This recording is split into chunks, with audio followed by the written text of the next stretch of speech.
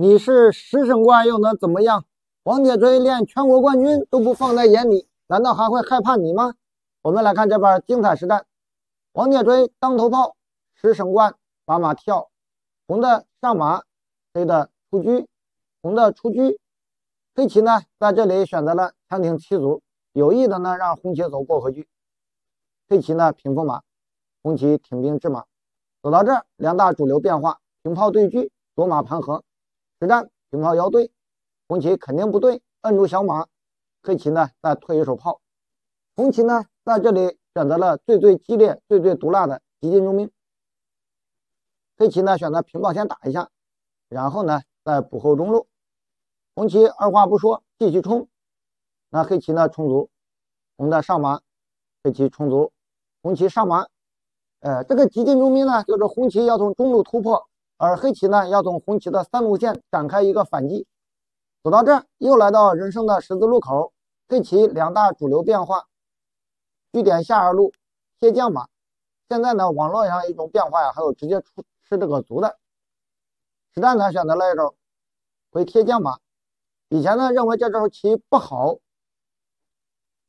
这个一度啊，黑棋没人敢走了。但是呢，有了这个人工智能之后，又重新开抓开发出、挖掘出这路变化。红棋往下冲，黑棋上马。哎，你要是平车来吃炮，那人家有个重炮打，所以说呢，只能放弃底象了，退车回来。那黑棋呢，搞你对象，来一将，补一手士，然后呢，马跳进来，以后呢，可以平边炮，可以下底车。那红棋呢，就平车腰对，黑棋也只能对掉，红棋打掉。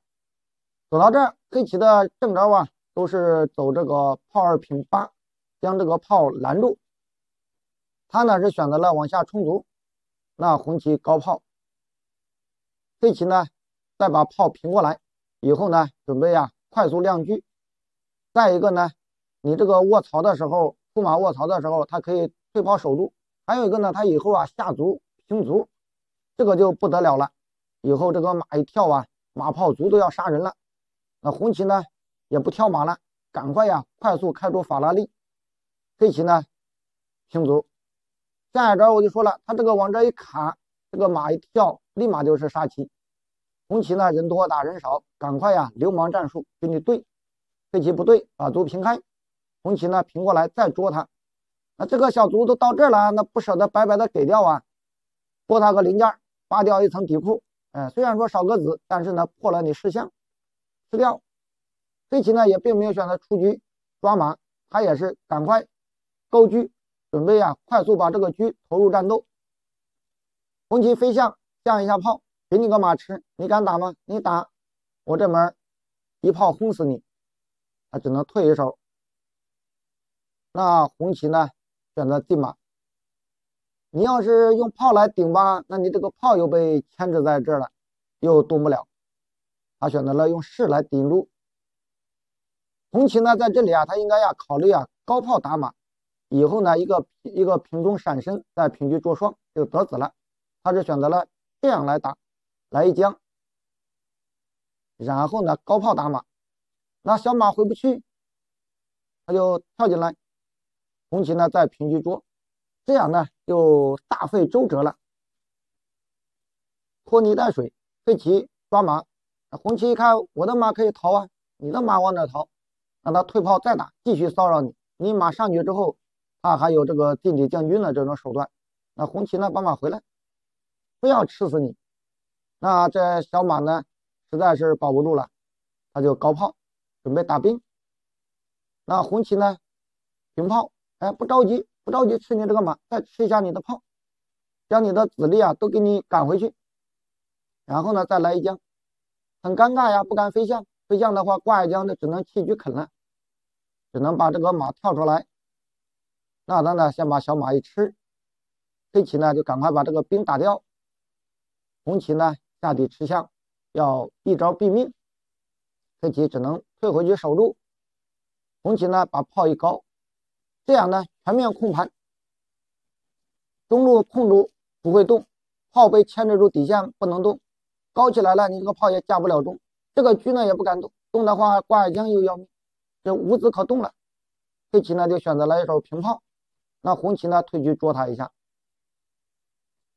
黑棋呢选择出老将，这样呢马保住，那红旗呢就回马，强行给你交换，你给我踩了，我给你吃了，吃完之后我还要杀士要你的命，还要叫抽，那他不敢交换，选择高炮绊住马腿，那红旗进炮，还是要吃，黑棋只能退一手炮，形成一个担子炮，那红旗这时候再进地吃下。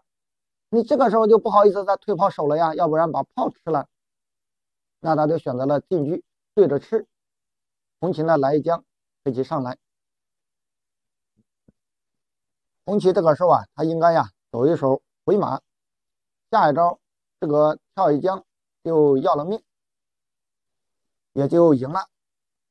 他呢没有，他呢是选择了一手啊炮五平七。他误以为这样一打也赢了，哎，那人家呢恰好你这不绊马腿了，把这个马吃了，保住这个了，那红旗再后悔也没用了，只能是先吃掉，踩掉。现在人家吃着炮呢，他先把炮退回来，这样呢这个马被牵制住，下一招就有一个退将套中士的手段。黑棋呢先占住中路，红旗呢选择了一手退车，以后啊可以这样来。黑棋呢，赶快呀，上个士，准备老将进中。红棋呢，打一下这个小马。黑棋呢，把小马上来。这样呢，你现在呀，啥也抽不着呢，还。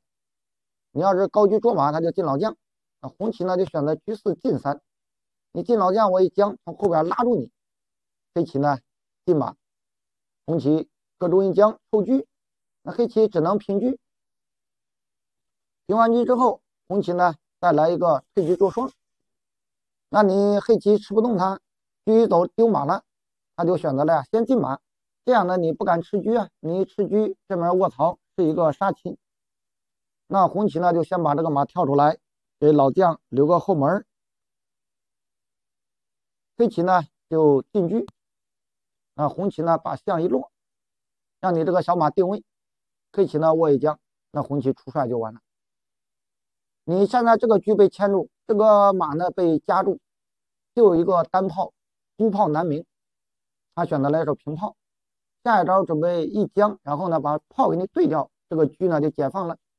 那红旗呢平车，捉他一下，他再把炮平开。你要是 退车来捉死这个马，他呀就可以来一将，这样呢你只能上来，然后呢他再退炮，你吃掉马，他闪一将。那这样呢，你还得送个炮给他吃，吃完之后他还要闪你，这样红旗啊是没有便宜的。所以说呢，他再来，这次呢他平到这打马，那红旗顺势马一跳，又踩住你的车，黑棋呢退车，哎，那红旗呢又抢个先手，进马又一踩，黑棋又点进来，红旗呢就来一将，再来一将。然后啊，也搞你的对象，把象吃掉，吃住炮，吃住炮。你这个炮呢，你怎么躲呢？你要是搁一将，那他又可以回马踩你的车，以后呢退车捉你的炮。你这个车呢，还是要遭到利用。他呀，干脆啊，也不要这个炮了。这个车被拉住，实在太痛苦了。他进老将，那红旗呢，再把炮一吃，得子了。他呢就把士一吃。下一招一将要抽你这个炮，红旗呢平车保住，黑棋呢来一将，然后呢回马。下一招马四进二，这就是一个杀棋。红棋退马将马腿绊住，啊来一将，将了几下过过瘾，然后呢把车退回来，防止你过兵。下一招啊还有一个。车站内这种杀招，那红旗呢就赶快退车回来，捉一下这个马。黑棋呢把马绊进来，下一招一将一将，那红旗呢就高炮，黑棋呢在照头将可以垫炮了，他又选择定车将，再将，将几下。过完瘾之后，选择进马，下一招准备退马，这样来。